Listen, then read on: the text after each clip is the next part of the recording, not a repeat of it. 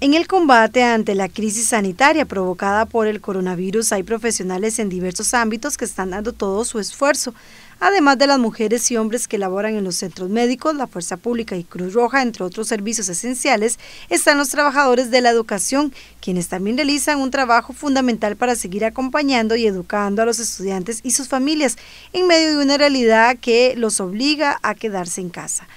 Por ello, desde el conglomerado del Banco Popular y Desarrollo Comunal, como es el Banco de las Personas Trabajadoras, consideran oportuno enviarles un agradecimiento por la labor en estos momentos tan complejos que están llevando adelante para seguir formando a las nuevas generaciones.